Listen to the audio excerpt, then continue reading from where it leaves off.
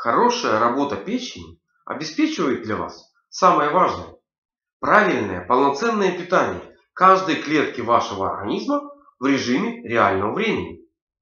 Как вы думаете, может работать клетка, не получая правильное питание? Может ваш любимый автомобиль возить вас на разные расстояния, если вы заливаете ему непонятно какой бензин? Я думаю, что если сможет, то не очень долго. А автомастер вам потом объяснит, во что вам выльется такая экономия, такая непредусмотрительность. От работы печени на 100% зависит правильная переработка всех продуктов питания, напитков, которые вы поместили в пищеварительную систему, их переработка в нужные для вас компоненты и доставка работающим клеткам. Одновременно хорошая работа печени обеспечивает на 70% очищения вашего организма. Как от продуктов жизнедеятельности, которые образовались в клетках, так и от тех, которые попали через органы дыхания, через кожу, другими путями. И по этой причине или по этим причинам хорошая работа печени обеспечивает вам высокое качество жизни без болезней и активное долголетие становится реальностью. Если же вы понимаете, что у вас не самая хорошая работа печени, или вы искали в поисковике плохая работа печени, я вас прекрасно понимаю. Есть разные степени нарушения работы печени, но и в зависимости от того, насколько она нарушена, безусловно, продолжительность выхода из этого состояния. Я вам попробую рассказать этапность в нарушении работы печени, чтобы вы понимали, что в принципе ничего из ничего не происходит. И самые тяжелые заболевания начинаются с самых легких. Знаете, дорога в тысячу лье начинается с первого шага. И вот в ухудшении работы печени или в обеспечении нормальной работы печени очень важно понимать разные состояния. Ну, безусловно, как вы понимаете, печень работает в режиме реального времени постоянно, круглые сутки. И всю вашу жизнь с первого до последнего дня, с первой до последней минуты, печень очищает вашу кровь. Результат своей работы она складывает в желчный пузырь. И от состояния, от работы желчного пузыря зависит в принципе работоспособность вашей печени. Поэтому, когда вы идете на УЗИ, и вам говорят, есть дискинезия желчного пузыря, и вне печеночных желчных протоков, и или, по-разному бывает, вы должны понимать, что уже печень не будет работать хорошо, раз есть дискинезия. Другое дело, что тут препаратов мало. Поэтому очень редко кто лечится сознательно.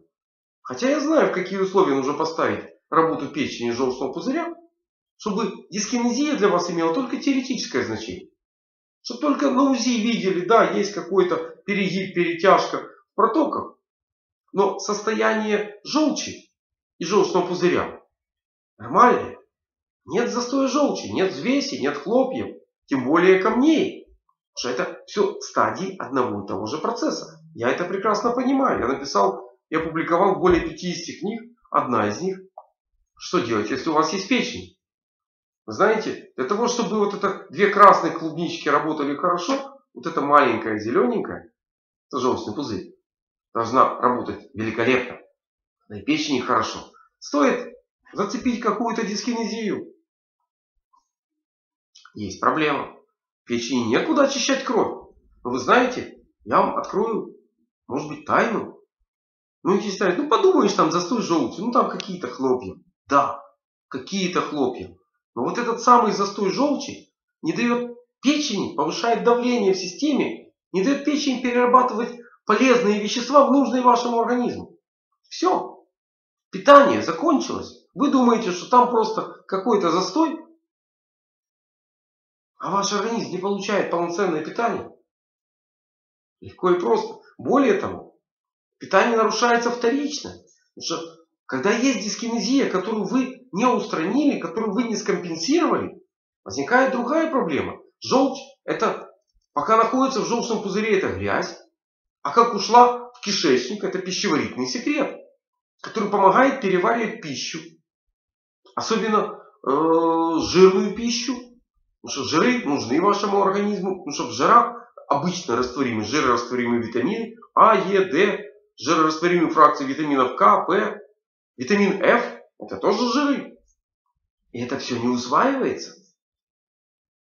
Знаете, если я начал бы э, перечислять полезные свойства жирорастворимых витаминов, это видео закончилось бы часа через три. Я поберегу ваше время. Вам не нужно это знать, вам нужно знать, как дискинезию вылечить, как скомпенсировать это состояние, как устранить застой желчи. Я это знаю, как это сделать. А вы можете узнать, обратившись по контактам, которые вы видите под этим видео.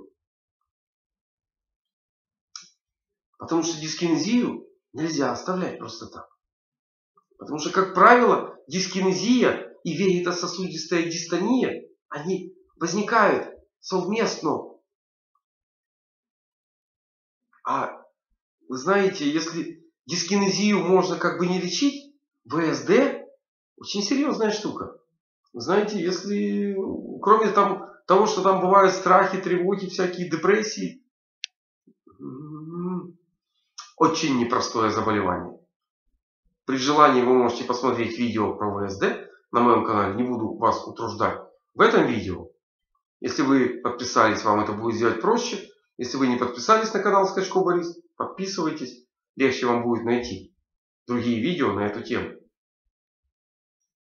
Отпускать ситуацию нельзя.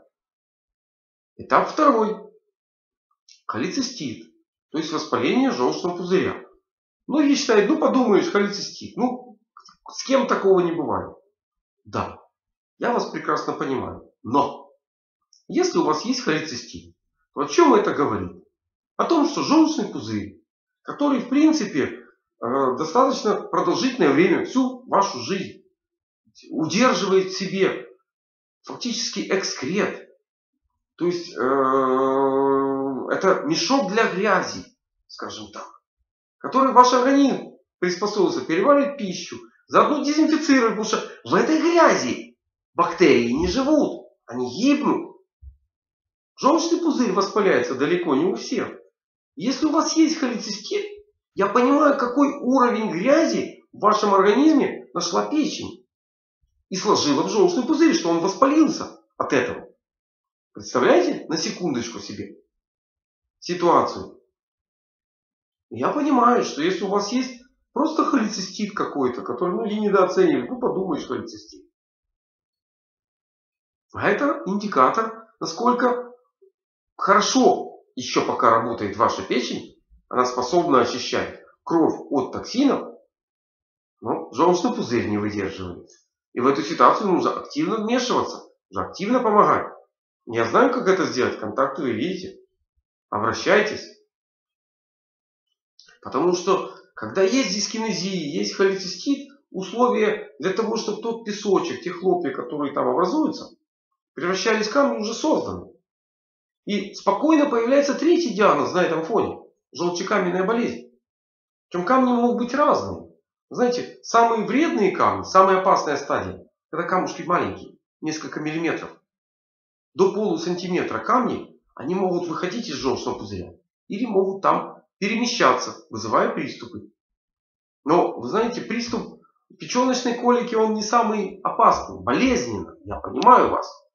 Но это не самое худшее, что можно себе придумать. Потому что когда к шейке желчного пузыря подходит камушек и вклинивается вот здесь, рефлекторно спазмируют коронарные сосуды. И кроме того, что здесь больно, плохо сердцу, потому что коронароспазм, ухудшается кровоснабжение мышцы сердца, а сердце на диету не посадишь. Ну, работает регулярно. Больше того, приступы аритмии тоже провоцируются отсюда же. Если у вас боли в области сердца в ночное время, если у вас аритмия появляется в ночное время, то вам кардиолог интересен. Но вам нужно сходить на УЗИ и удостовериться, нет ли камней в желчном пузыре. Потому что кардиолог вас 200 лет будет лечить, если у вас хороший ангел-хранитель. Или вы окажетесь с инфарктом в кардиореанимации, если ангел-хранитель оказался не тот. А вам всего-то нужно проверить, хорошо сделать УЗИ печени желчного пузыря и удостовериться, нет ли там камней. Что препаратами вы будете коронарные э, приступы снимать долго и нудно, аритмии будете снимать долго и нудно, тем больше беспокоит, а ночью. Не самое удобное время. Пока вот тут, да, я согласен, желчекаменную болезнь в данном случае нужно удалять оперативно. Решать проблему нужно радикально. То есть удаление желчного пузыря. Но только в этом случае. Если у вас камушки такие более спокойные, они уже прошли маленькую стадию, стали там сантиметр и больше, знаете, не стоит, я думаю, вам так активно вмешиваться в эту систему. Потому что по данным вскрытий, каждый третий человек носил камни. А по причинам смерти две трети людей умирают от сердечно-сосудистых заболеваний. Каждый пятый от онкологии. Вы знаете, от желчного перитонита умирают единицы. Да, это нужно быть очень неудачливым, чтобы желчный пузырь в конце концов порвался вот, и разлилась желчь брюшной полости. Поэтому, если у вас э, бессимптомное носительство камней в желчном пузыре, носите, контролируйте их на УЗИ периодически. И не трогайте. Уже как только вы удалите желчный пузырь, в системе пищеварения появится очень серьезная проблема. Желчным пузырем тяжело переваривать пищу, если там есть камушки. Потому что у вас определенный режим появляется. Кстати, чтобы узнать его, опять-таки, вы контакты видите. А без желчного пузыря еще тяжелее. Там очень непростые условия возникают. Потому что резко нарушаются условия для переваривания все тех же жиров и жирорастворимых витаминов. Жиры-то ладно, бог с ними. Прошли по кишечнику и не страшно. А вот жирорастворимым витамином тут серьезная проблема. Поэтому тут нужно думать, что делать и как делать. Поэтому если вы хотите э, доиграться до желчекаменной болезни, до операции, ну, играйтесь, но я бы советовал вам все-таки начать с другой стадии и либо предотвратить желчекаменную болезнь, либо перевести ее в такое, знаете, скомпенсированное состояние, когда и камушки, да, ну, никуда они уже не денутся из желчного пузыря. Но зато пищеварение идет оптимально. Поэтому это фактически третий этап в нарушении работы печени. И желчекаменная болезнь, она указывает на давность процесса. Это говорит о том, что застой желчи, нарушение работы печени уже очень давно. На этом фоне легко развивается атеросклероз сосудов. На этом фоне развиваются другие заболевания. Понимаете, это уже следствие вот той самой дискинезии, которую вы проигнорировали вначале. Поэтому не нужно игнорировать диагнозы. Если у вас есть какой-то диагноз со стороны печени, желчного пузыря, протоков, это нужно решать, это нужно лечить. Нельзя отпускать на самотек. Потому что очень легко развивается хронический панкреатит, который потом вам даст прикурить. Зачем вам это надо? Проще скомпенсировать ситуацию на, на уровне дискинезии. Что еще может быть? Какие еще частые причины? Понятно, среда достаточно агрессивная, очень часто развивается гепатит. Но, вы знаете, избежать сложно. Вирусный гепатит А вообще не избежать, то есть это болезнь грязных рук. В книге рекордов Гиннесса есть там э, американец в возрасте за 40 лет, который доказал, что вирусным гепатитом он переболел в таком возрасте. Как правило, это болезнь грязных рук, это детский возраст. Там переболевают. Печень э, скомпрометирована, но с этим можно жить. Все же с этим живут. Вопрос, как ей потом помогать просто. Вот это будет правильно. Конечно, есть другие вирусы, которые переносятся кровью, гепатиты Б, С. Но вы знаете, с ними тоже можно подружиться, жить нормально. То есть, если вам нужно узнать, как это сделать правильно, какие, как питанием, травами скомпенсировать ситуацию, не вопрос, контакты вы видите, легко можете обратиться. Потому что плохо леченный гепатит это не самая хорошая вещь. Тут это уже не дискинезия, это уже ситуация пошла дальше. Потому что кроме вируса, вы знаете, еще экология у нас есть, еще продукты питания того качества. А многие принимают еще медикаменты. Кто-то сам себе их назначает. Кто-то нажил благодаря работе печени, из-за плохой работы печени. Другие заболевания по поводу их принимают медикаменты. Я не говорю, что нужно бросить. Нужно думать о печени. Потому что через работу печени можно скомпенсировать и те заболевания. И сократить прием медикаментов, который для печени не безразличны. Поэтому тут очень важно правильно сопровождать ситуацию. Потому что неизменное следствие гепатита есть жировое перерождение клеток печени. Или ожирение печени, или жировой гепатоз. Вы должны просто понимать, что когда печень, э, скажем, воспалена, она работает плохо. Но когда она заместила жировую ткань, но вовсе не работает. Эта клетка не работает. И очень важно помочь печени регенерировать, восстановиться, что при жировом гепатозе, как правило, она увеличена. Да, она изменена. Но увеличена она по необходимости, не потому что печень теперь супер хорошо работает. Просто там очень много клеток, замещенных жиром, они не работают. И отсюда тоже можно улучшить работу, но тяжелее возвращаться. Путь длиннее, вы же ушли дальше. Вы не просто годами, десятилетиями не обращали на состояние печени внимания. Более того, вы еще могли, кроме того, что перенести какой-то гепатит, пищевое отравление, вы могли просто экстремально снижать вес когда-нибудь. Или набрав, махнули на это рукой и сказали, все, избыточный вес со мной. Знаете, и та, и другая ситуация, они неправильные. Потому что их нужно, опять-таки, не отпускать. Печень восстанавливается. Она хорошо восстанавливается, великолепно восстанавливается. Ей просто нужно создать эти условия. Потому что следующие стадии за гепатозом это фиброз и цирроз печени. На финише, да, там, если у вас есть 1050 долларов и родственник, который готов поделиться половиной своей печени, да не вопрос. Только не все имеют такие деньги, таких родственников, которые согласны стать инвалидами. Ради человека, который ну, вел не, не самый лучший образ жизни. Поэтому мой вам совет. Если вы уже где-то приобрели вот эти вот заболевания, нужно решать. Потому что печень управляет всем обменом веществ. И когда плохо, плохая работа печени, вам очень плохо. Что печень управляет обменом углеводов, да. Не управляет сахарный диабет второго типа. Кто легко перейдет и в первый тип диабета, когда истощится поджелудочный. Печень управляет, должна управлять обменом жиров. Если не управляет, атеросклероз сосудов. Это причина номер один. Среди причин смерти сосуд порвался, все, инфаркт, инсульт по выбору. Печень управляет обменом белков.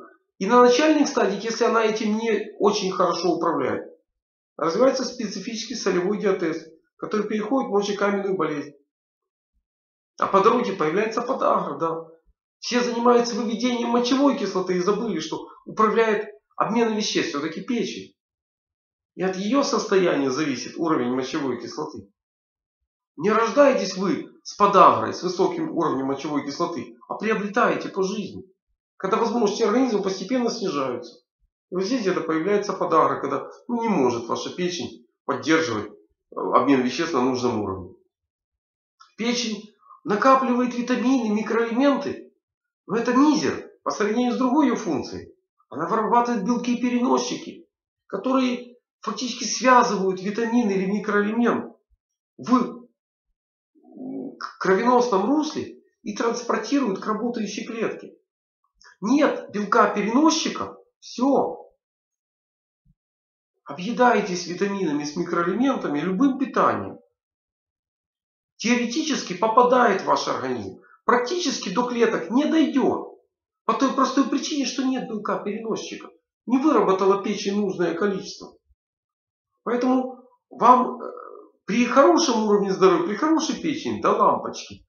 Вы один-два раза в день кушаете, и этого хватает, уровень здоровья хороший. Вот когда печень подсела, вот тогда возникает ситуация. Человек кушает по привычке два раза в день. А что-то не то не идет здоровье. Куда-то оно делось. А делось потому, что вам нужно теперь балансировать рацион питания так, чтобы печень меньше выполняла вот этих функций, чтобы она проще контролировала обмен веществ. Очень серьезный орган печени. И если у вас хорошая работа печени, хороший генотип, да не вопрос.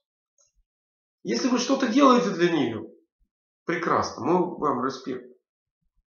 А если нет, Подумайте о своей печени, что для нее сделать, чтобы она работала хорошо. Я буду заканчивать это видео словами крепкого вам здоровья и разумного к нему отношения. И думаю, что следующий звонок будет от вас. звоните.